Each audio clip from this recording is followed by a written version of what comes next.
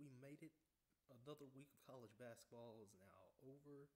Um, and now, uh, here's some things that are going to change around here.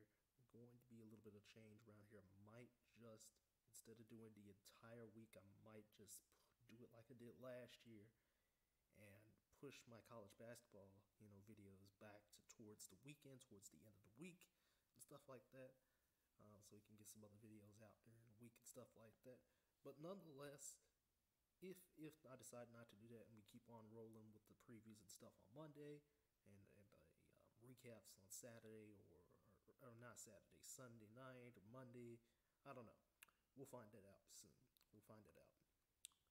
Um, but Kansas really dominated against West Virginia on Tuesday night. Very big game for both of these teams there, and you know, you know there there was there was something going on.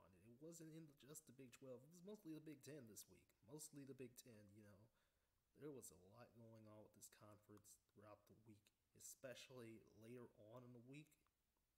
Um, there's there was also that Creighton Xavier matchup that was going on. Um, but sadly, um, I'm not sure which team tested had some positive tests. I think it was Villanova that had some positive tests. Um, so Xavier Villanova game for next week is called off. So there's that. Um, but Creighton did beat um, not Villanova, Xavier. So you know. But yeah, the Big Ten is going to be a dogfight. Um, we I, I said it last week. I said it the week before. It is going to be a dogfight because Ohio State beat Rutgers, and then you know, and then on Christmas, then on Christmas, Wisconsin, you know, they, they really flexed their muscles against Michigan State, and then Iowa just had to lose to a surprising eight and one.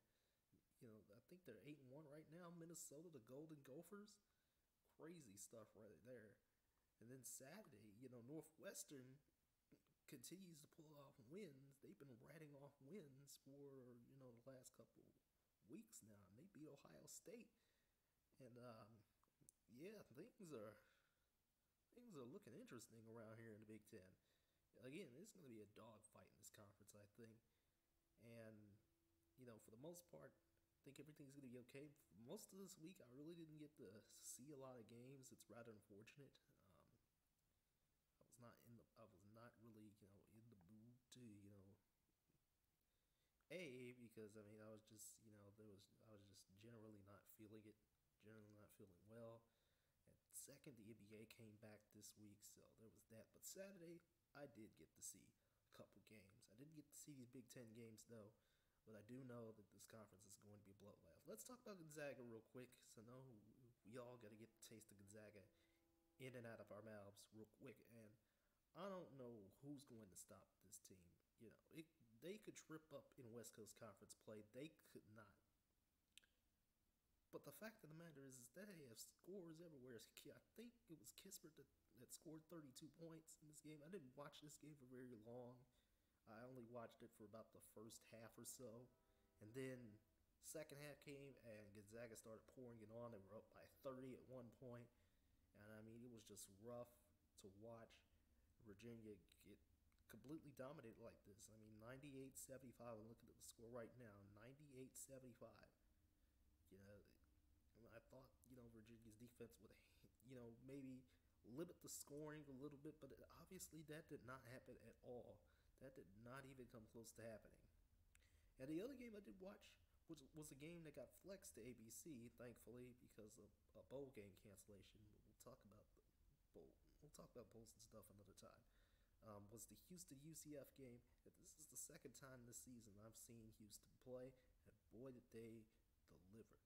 Very strong defense they have out there. And I mean, this Houston team is going to be dangerous. I think right now they're projected to be a two seed. I'm not sure. I know I know there was some projections the other day that had my Longhorns as a two seed. Um, but yeah, Houston is a damn dangerous team. They have pretty good non-conference wins, and, and conference play is heating up. You know, as we speak, and as we go through the motions to get to January. But um, yeah, this Houston team is dangerous. They locked up UCF for most of that game. You know, they kept, you know, UCF did keep it close, but Houston pulled away at the very end. And I think this one's going to be a long one for the American if somebody doesn't step up, you know, to stop Houston from raining down, you know, that, that defense. That defense is real tough. They were forcing a lot of bad shots and stuff like that. Uh, yeah, mostly, you know, this week really didn't give me too much as far as um, as far as notes and stuff. I think I might stop doing those, mostly because I know more players, know more teams and stuff now. Everything's getting a little bit more in sync. I might stop doing that too. Um, but yeah, this week doesn't offer. This next week here doesn't offer us a lot of ranked versus ranked matchups. It's a lot of conference matchups, a lot of ranked versus unranked matchups, a lot of teams that are still playing non-conference games, you know, and stuff like that. But yeah, it's going to be an interesting time to see what in the world's going to happen this week. I know the college football playoffs are this week, you know, and the last week of the NFL season, so those may get prioritized over some of these games. But there are some games that are going to look interesting that I'll talk about tomorrow. And again, uh, hope to see y'all again tomorrow. And do, do some more stuff around here before 2020 comes to a bittersweet end. And, you know, we'll just reflect on the channel as a whole and stuff like that and talk more talk more basketball, talk more NFL, talk more college football, you know, all the all the usual stuff. So again, I'll see you guys in the next video I put out, which will be tomorrow, of course, and see you then. Take care.